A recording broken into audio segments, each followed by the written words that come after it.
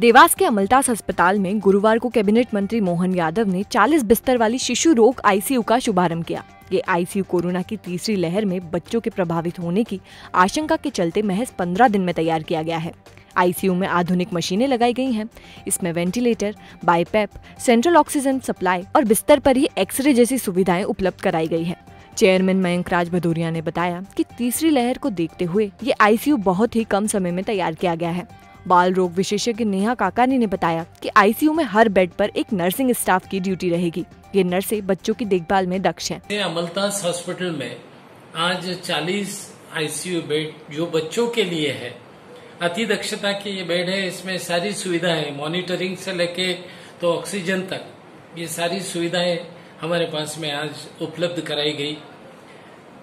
मंत्री महोदय जो यहाँ पर पधारे थे डॉक्टर यादव साहब, उनके करकमलों द्वारा इस सेवा का, इस अति दक्षता कक्ष का आज उद्घाटन सवेरे हुआ।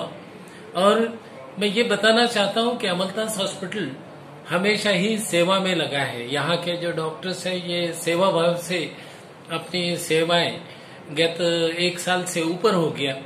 अपनी जान जान जोखिम में डालकर, कोरोना के योद्धा बोलकर पूरे चारों ही ज़िले के उसमें उज्जैन होगा देवास है, आगर है, शाजापुर है, ये चारों ही ज़िले के जो यहाँ पर कोविड के पेशेंट्स, इनके सेवा में जुटे हैं। और मैं ये भी बताना चाहूँगा कि हमारे पास में जो रिकवरी, जो लोगों का अच्छा होने का रेट भी बहुत ज़्यादा है और ज़्यादा से ज़्यादा लोग इस अस्पताल का प्रयोग करके उनको उसका फ़ायदा हुआ है और अच्छे होकर, अच्छे सेहतमंद होकर यहाँ से गए हैं।